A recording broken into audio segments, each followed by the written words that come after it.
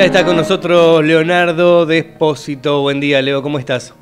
¿Qué tal? ¿Cómo estás? Bien. ¿Todo bien? Bien, bien, bien, todo bien. Me, me alegro mucho. Eh, ¿Qué tenemos hoy? ¿Qué tenemos hoy? ¿Qué tenemos para este fin de semana? Eh, estoy viendo estoy viendo que en la sala Lugones se replica, o sea, la sala Lugones es, sabemos, un templo de los cinéfilos, ¿no? Uno de los templos de los cinéfilos acá en Buenos Aires. Eh, en el décimo piso del Teatro San Martín, en Corrientes 1530. La entrada es barata siempre, 200 pesos, eh, así que nada, es como que no, no, no tenemos ningún problema para ir.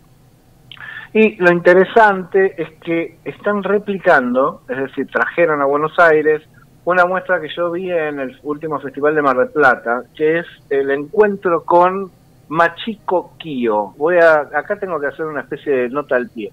Alguna vez en la ciudad de Buenos Aires se veía mucho cine de todo el mundo, Sí. en salas de estreno. ¿m? Entonces, por lo menos hasta cuando yo hasta cuando yo era chico. Después ya a partir de los 80 la cosa fue cambiando.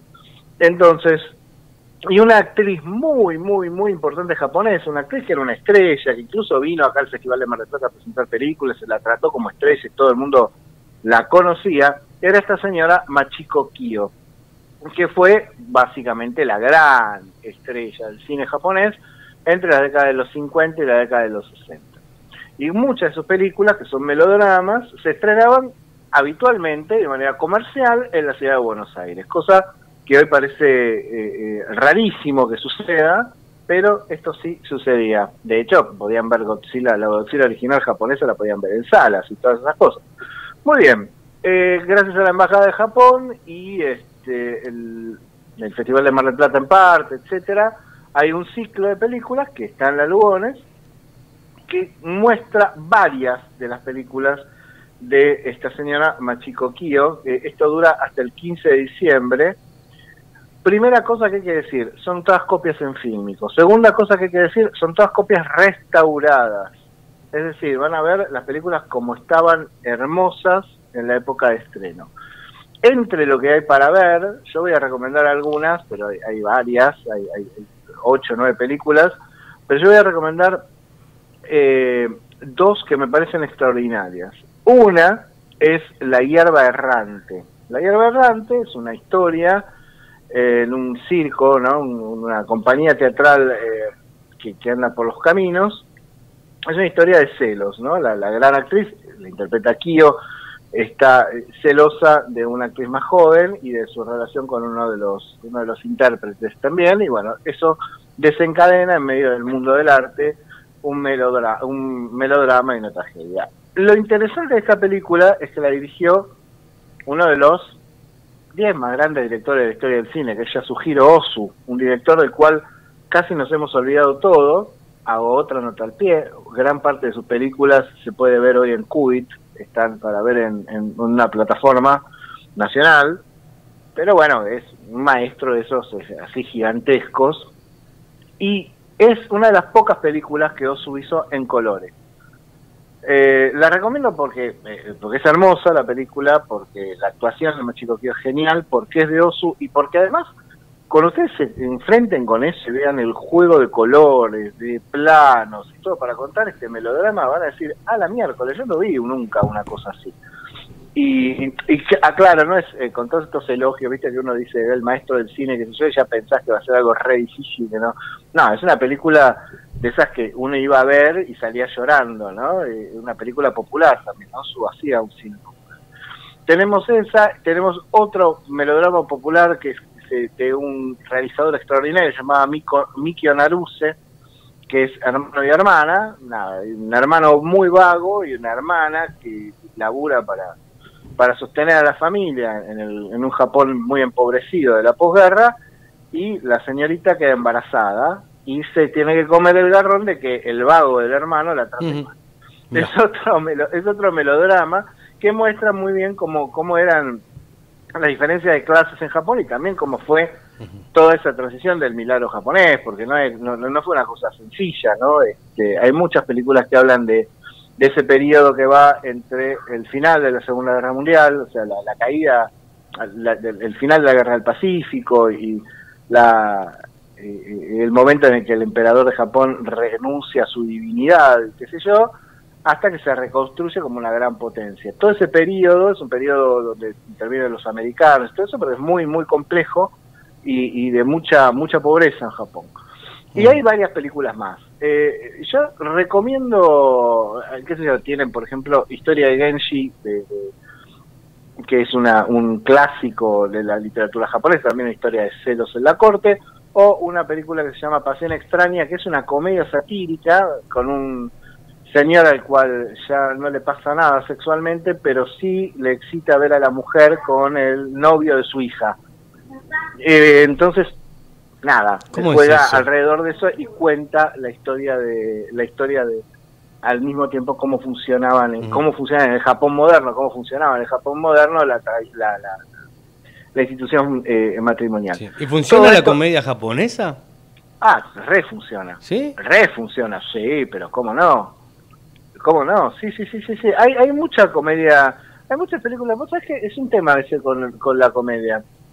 Nosotros que hemos visto bastantes comedias japonesas, coreanas, incluso chinas en, en los festivales, eh, uno cree que la gente no se va a reír de lo mismo. Incluso norteamericanas, hay muchas comedias norteamericanas satíricas que no se estrenan porque dicen, no, acá el público de esto no se va a reír. ¿no? La comedia de Adam McKay, ¿te acuerdas que hablamos? Ayer hablamos de Adam McKay, qué sé yo, el reportero o o Ricky Bobby, acá no las quisieron estrenar porque dijeron, no, acá la, la, gente no se va a reír de esto, entonces ¿para qué? Por más que sea el número uno en los Estados Unidos, acá no las estrenamos, lo mismo pasa con el resto. Y sin embargo, yo te puedo asegurar que en las películas cómicas que a mí me ha tocado ver, en las comedias que a mí me ha tocado ver de otros países, sobre todo de países orientales, eh, y con público, la gente reacciona donde tiene que reaccionar. Realmente funciona, porque hay algo como muy universal en el humor, que es el, de la perspectiva, ¿no? De ponerte un poco alejado del problema para ver lo ridículo que es. Entonces, eso eso realmente funciona. Así que, mira, si querés probar, te aseguro que anda a ver este Pasión Extraña y vas a ver este que es, eh, aparte de una ridiculez absoluta, eh, los personajes, ¿no? La película no es ridícula, la película es extraordinaria. Eh, vas a ver que sí, que sí, efectivamente funciona. Bueno, eso en cuanto a cine. Tengo una obra teatral Esto va en, eh, hoy a las 22, está todos los todos los viernes a las 22. Eh, igual les queda una función porque cierran el 18. Vos sabés que acá del, 18 al 6 de enero, más o menos, no hay teatro, no hay prácticamente nada, casi no hay estrenos, porque bueno, vienen las fiestas, nadie se arriesga a estrenar o a hacer nada. Eh, y, paran todos los elencos. y después empieza la temporada. Claro, exacto. A partir del 6 de enero es como va a ser como un boom de haber de todo en todos lados.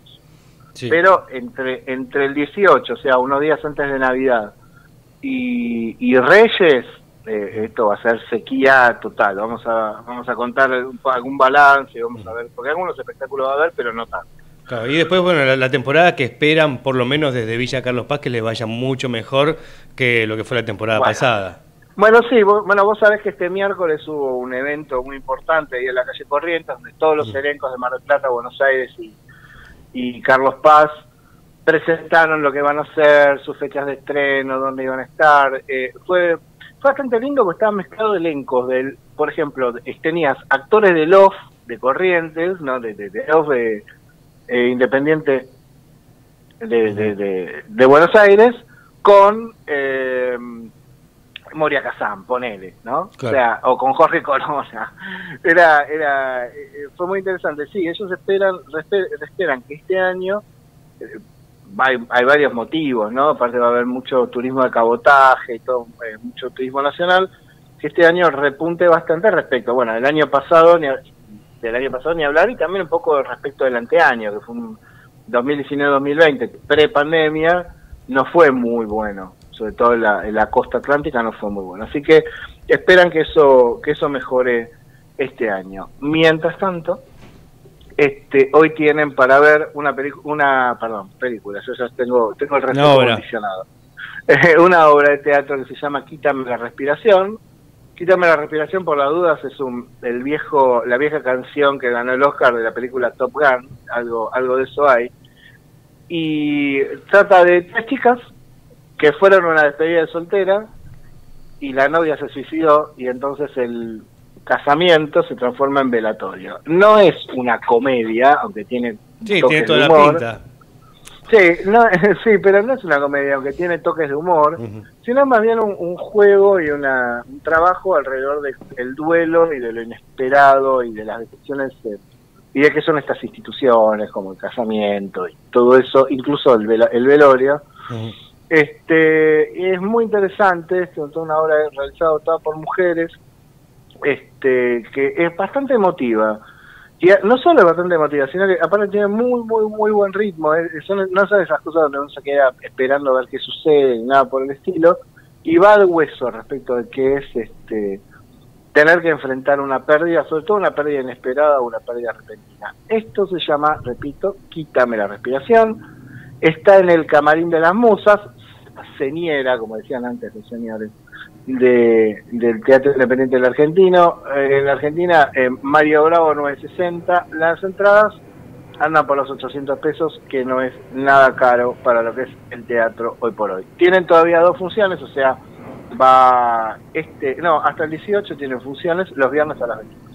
Así que eso es el camarín de Y terminamos, terminamos eh, música hoy, hoy a las 20 eh, en el Shirgu, ahí en la calle Chacabuco, al, al 600, en el Chacabuco 875, ahí en, el Teatro Margarita Shirgu, espacio 3, tocan, se vuelve a presentar una de las, para mí, mejores bandas indie, indie de la Argentina, los platenses de 107 Faunos, que habían, habían lanzado, habían hecho un, un, un disco nuevo, un álbum en España, con todo el, toda la esperanza de lanzarlo acá a la Argentina en 2020. Imagínate lo que pasó, no se pudo lanzar Claro, nos agarró la pandemia.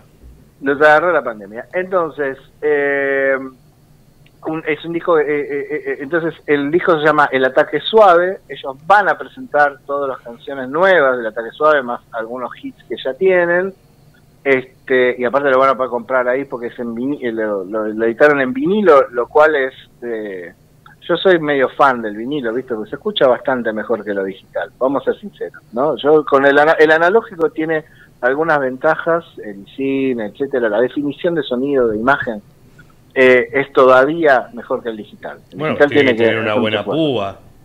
Tenés que tener una buena púa, claro. Si vos tenés un buen combinado con una buena púa, tenés un buen tocadiscos con una buena púa, sí.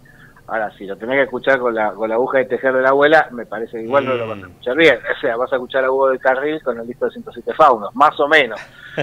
este Así que bueno, eh, hoy tocan, es hoy a las 20, Chacabuco 875, el Teatro Margarita Girgo, espacio un 3. Las entradas salen 950 pesos y eh, van a poder escuchar, eh, yo creo que es una de las bandas más interesantes que hay en, la Argentina hoy por hoy y que se aparta, una de las cosas de 107 Faunos, es se aparta mucho de las modas, o sea, hacen un pop que tiene cosas de los 80, cosas de los, de los 60, experimentan mucho con el sonido, experimentan mucho con el, con el, con el, el feedback ¿no? que, que hay entre la guitarra y el, y el, el, ¿cómo es? el parlante, o sea, hacen y crean climas sonoros y las canciones son muy bonitas también, o sea, no tampoco es, eh, no, no, voy a ver una banda súper experimental, no, son, son una banda que experimenta sobre la gran tradición del pop, que es probablemente uno de los legados más importantes culturales que nos dejó el siglo XX. Así que nada, y se la pasa bien, ¿no? Eh, ahí en, es un lindo lugar, el Shirgu. Y después tenés San Telmo y Salés y tomás algo, que hay un montón de lugares hermosos para comentar el recital si vas acompañado y si no vas acompañado para encontrar con quien eh, comentar el recital, que seguramente suceda. Eso es lo que tengo para ofrecerle este fin de semana, mi estimado amigo. Muy bien, muchísimas gracias, Leonardo. Fue muy, muy completo. tuvimos música, teatro y cine japonés. Y cine, japonés, sí, señor. ¿Eh? Completo para el fin de semana. Leo, que la pase bien. Un fuerte abrazo. Abrazo, nos vemos. Leonardo Despósito, el hombre del espectáculo en la mañana de Comedios.